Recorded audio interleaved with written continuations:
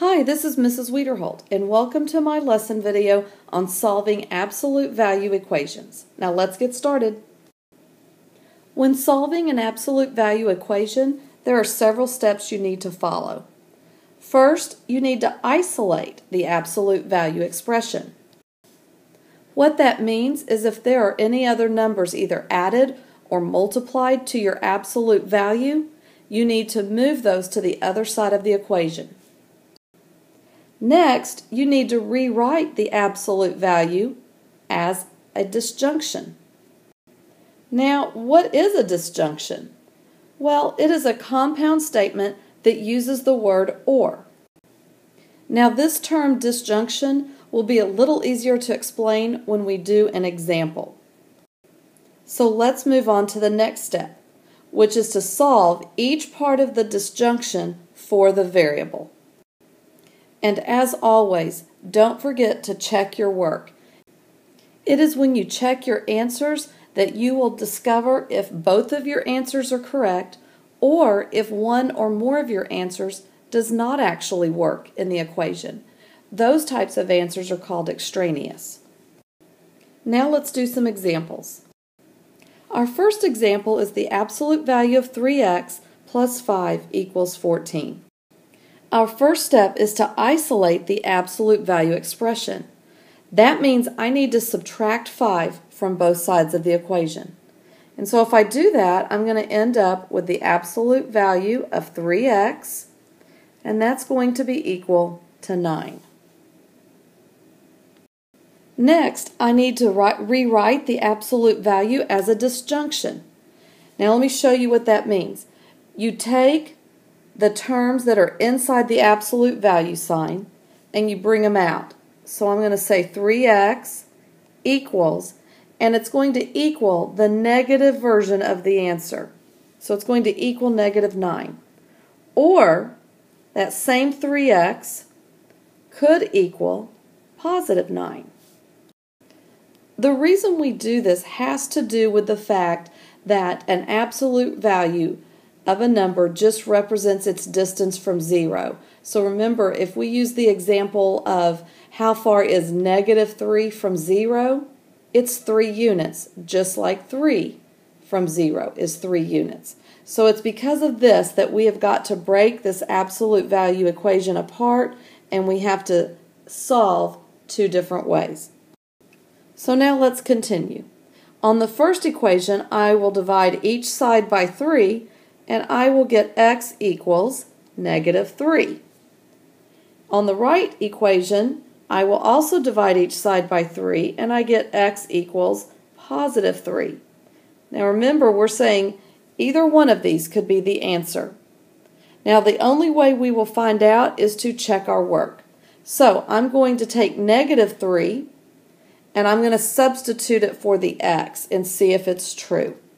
So I will have the absolute value of 3 times negative 3 plus 5, and it should equal 14. Well, the absolute value of 3 times negative 3 would be the absolute value of negative 9. And the absolute value of negative 9 is positive 9. So I have 9 plus 5 equals 14. Okay, so that first one is true. That is one of our solutions.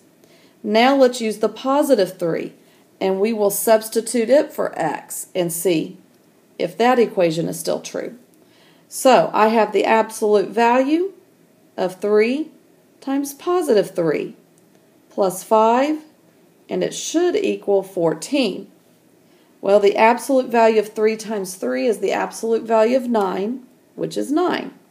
So I have 9 plus 5 equals 14. So that one is also true. So I have two solutions to example one. Now let's look at the second example. In order to isolate the absolute value expression, I need to divide each side by 2.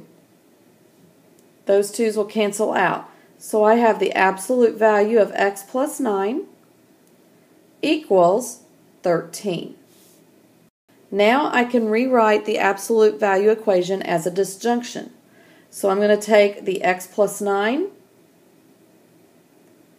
and set it equal to negative 13. Or I can take the x plus 9 and set it equal to 13, positive 13. Now let's solve each equation. On the left equation, I would subtract 9 from each side so that x is equal to negative 22. And on the other equation, I would also subtract 9 from each side, and I would have x is equal to 4. So I'm saying my answer could be negative 22 or positive 4. So now let's check and see if it's true. I'm going to substitute negative 22 for the x inside the absolute value bars. So I'm going to have 2. Well, what is negative 22 plus 9? That's thir excuse me, negative 13. So I have 2 times the absolute value of 13, and it should equal 26.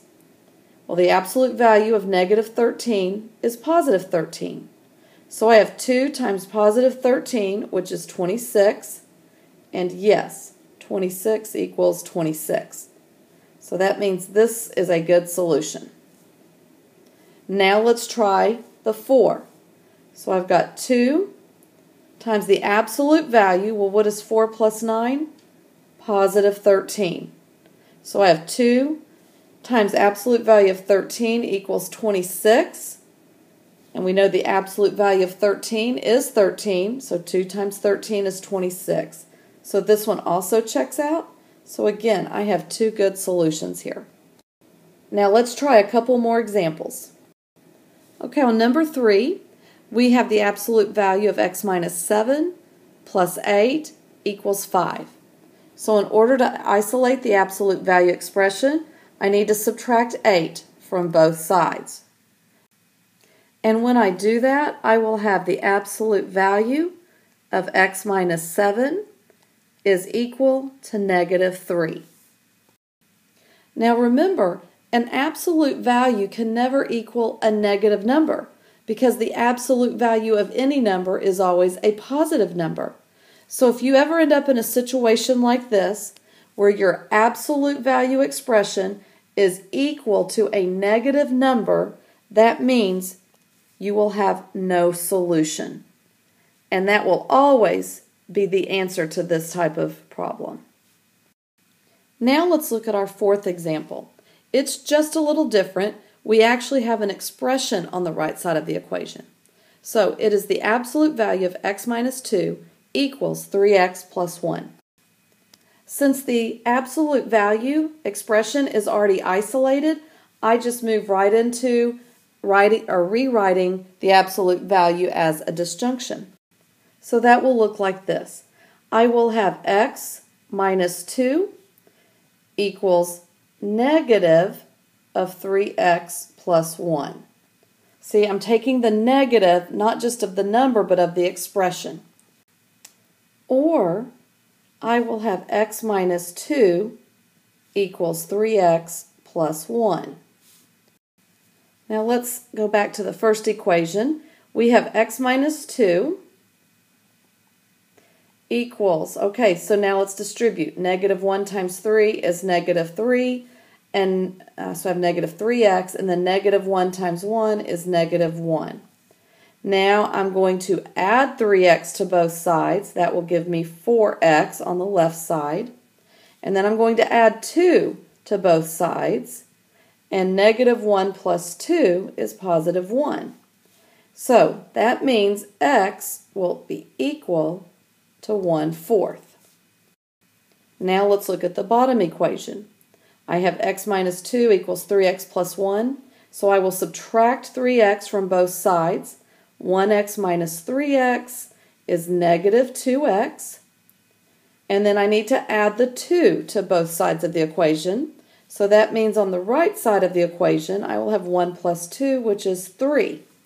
So that means x could equal negative 3 halves, because I had to divide both sides by negative 2.